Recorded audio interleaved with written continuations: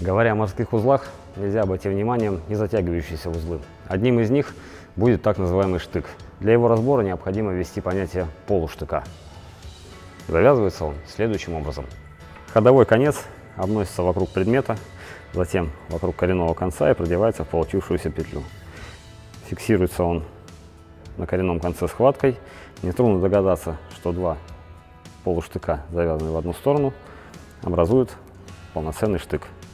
Это очень надежный узел, не зря с его помощью крепят швартовы, независимо от типа и размера судна. А в английском языке даже есть присказка, что трех полуштыков более чем достаточно для королевской яхты. Действительно, наращивание полуштыков более трех не делает этот узел надежней. Ценят его на любом континенте, а применяют не только в морском деле, но и в альпинизме и при буксировке автомобиля, а также при погрузочно-разгрузочных работах. И даже присказка в русском языке «буду здесь как штык» отсылает нас именно к надежности этого узла, на который всегда можно положиться.